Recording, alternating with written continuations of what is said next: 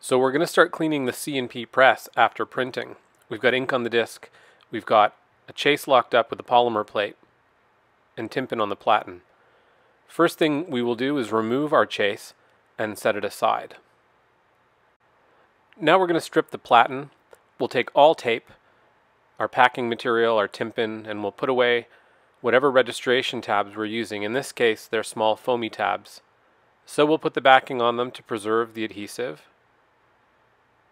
and then place them in the bowl.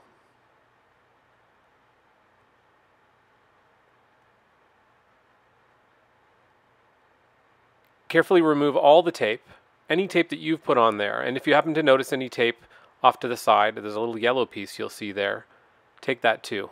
Best to leave the platen as clean as possible.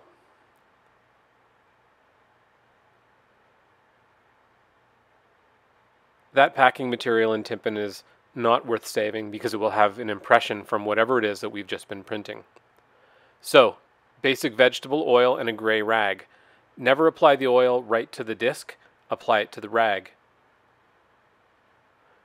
We're doing this in real time so that you can see that it doesn't take very long to do this, but you do have to do a good job because any ink you leave behind here will affect the next person printing, and the next person printing may be you. So if your rag gets a little too saturated, open it up, find a clean spot, add a little bit more oil. Different colored inks are going to stain more aggressively. In the case of this rhodamine red, that pink color really sticks around. So you want to get to a point where it's almost entirely gone.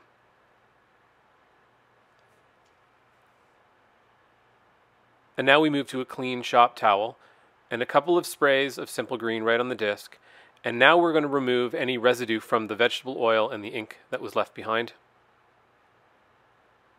This ensures a nice clean, color-free surface from whoever comes next.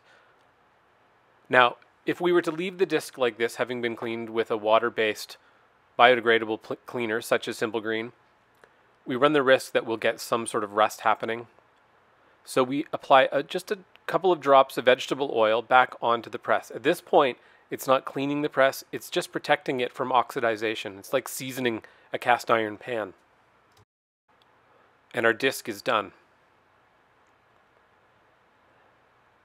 Next, I'm going to position the rollers. In this case, I've only got two rollers on the press up into the center part so that I can get at them more easily. This is fussy work. Those little holders are spring loaded, so you have to watch your fingers. And of course, the rollers are covered in ink. So carefully extract the first one and set it aside, and then the second one. Gloves on are a good idea at this point, of course, because you'll end up with ink on your hands. And any rollers you've used go into the little holder and pop the sign on top. So bringing our inky rollers over to the cleaning station, we are going to stick a single sheet, folded, but not a whole newspaper, underneath the rollers to protect the holder from the cleaners that we're going to use. Just makes it easier, it's less stuff to have to clean. Cleaning the rubber rollers themselves is very similar to cleaning any other roller, with a couple of exceptions. We're always using new or almost new light gray cloths and soy clear. Both of these things, the soy clear and the cloths, will be found near the rollers, near the C&P press, but more on that later. So we start spraying on a healthy amount to our rag, and then we use the rag to clean. You don't you don't apply the cleaner directly to the rollers because you'll end up with it all over the newspaper on the bottom and wasting it. Doing this in the holder is so much easier than trying to do this holding the rollers individually. Here you can see my left hand is slowly rotating these rollers so that my right hand can zip back and forth across and remove the ink. Once the particular spot on the rag is saturated, find a cleaner spot, apply a little more of the soy clear, and continue. Remember that note I said earlier about different inks staining? The rhodamine red in particular stains, and you'll see a bit of pink showing up on those side white things. Those things are called trucks. So do both rollers, or if you're using all three rollers, you do all three rollers at a time until such time as not much ink is coming off anymore, and then it's time to move on to the subsequent steps. You'll find all of these steps on a sign just above the C&P press area, but this is almost the same as any rubber roller cleaning. The only difference is here we're using soy clear instead of biodiesel.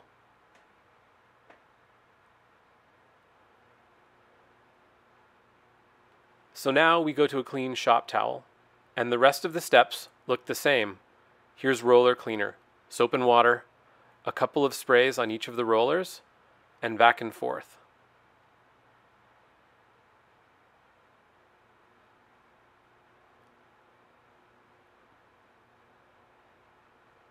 I have a fairly strong grip with my right hand on that roller, and my left hand again is just slowly rotating a little at a time so that I go around the roller surface at least two, maybe three times. Now's a good time to hit those trucks. Next step will be vinegar, same thing, and then simple green.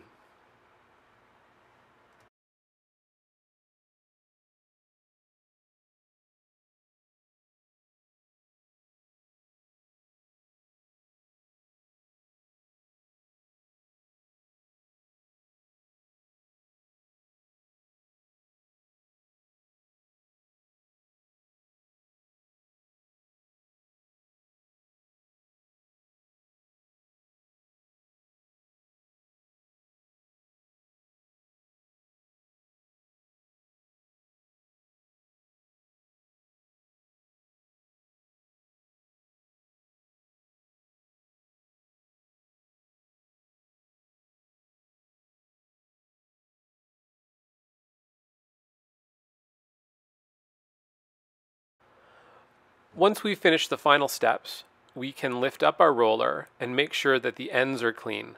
Now those trucks are much cleaner than they were before, but they're a little bit stained and that's okay. But I'm going to want to try to wipe them as well as force my clean shop towel right onto that edge there. I want to make sure that there's there's any ink hanging around, I get rid of it.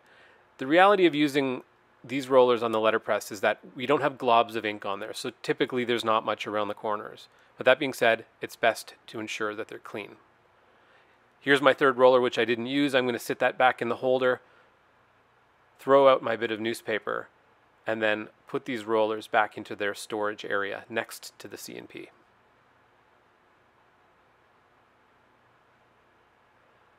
Here's my polymer plate and it is attached to my base. So I can start with that same rag and it has plenty of life left in it and a small amount of our soy clear again not nearly as much. There's almost no ink on this plate, to be honest. And then using a very light touch and skimming across the surface quickly, I can remove almost all of the ink quite easily. I don't push hard. These plates, as well as type, tend to kind of grab at your rag or your shop towel and tear it up. So, repeat with the shop towel, and then a little spray of simple green on top. Same thing. and we're almost done cleaning.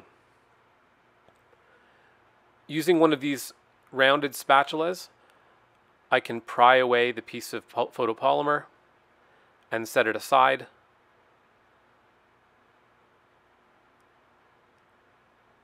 Give the base one more little spray and a wipe, and it's ready to be put away near the rollers.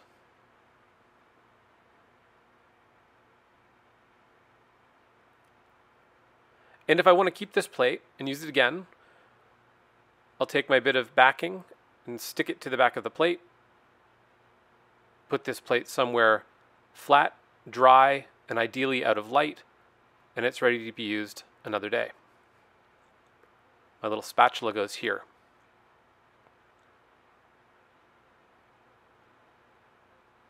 The soy clear goes up top, and if the rag has any life left in it, I fold it and place it under the rollers.